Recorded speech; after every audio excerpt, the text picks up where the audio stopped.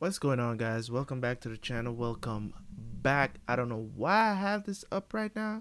Should not be showing on the screen. Anyways, um thank you guys so much man for always coming back and checking out these reactions first of all.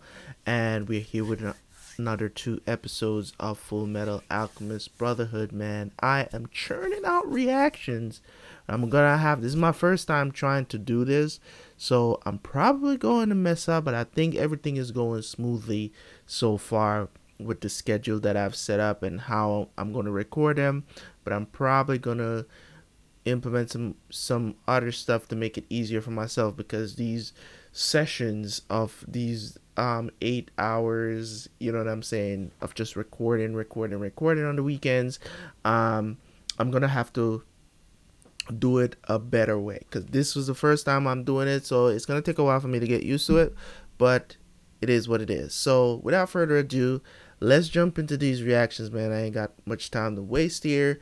Um intro i want to see how this story develops even more. It's getting more and more tasty, right? So let's go watch these reactions and I will see you guys for the review.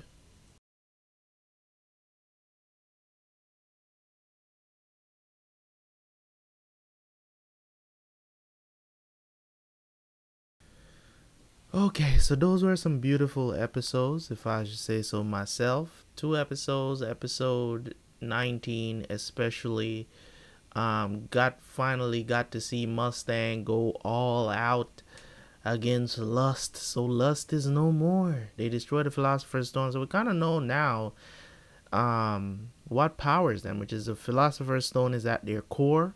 So that's good to know about the homunculus. Um, but the Fuhrer backed off. I was surprised he didn't go in there and say something because I mean nobody really is suspicious of him you know, really. So nobody really knows that he's actually Wrath. But I guess, you know, for me, I'm not going to do a long review, so don't worry. Um,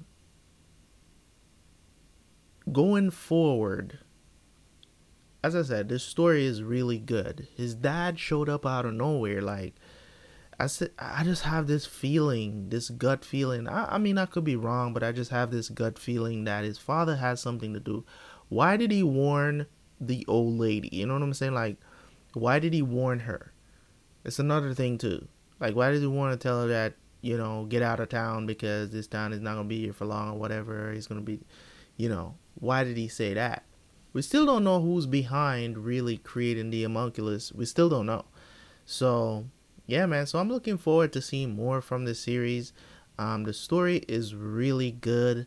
Um, I don't mind not seeing action, but when it does, you know what I'm saying? It's a bonus. It's a cherry on top. I'm more so interested in the story more than anything else because it really, really challenges you to to actually think. And I'm definitely gonna have a synopsis once once the series is over because there's a lot of things being revealed right now, and you guys have told me that it's going to get better and better and better and better. So I'm looking forward to it. Anyways, Thank you guys so much for tuning in. As always, man, I appreciate you guys. And I will catch you guys later. See you guys on Wednesday for the next two episodes. Appreciate y'all, man. Peace.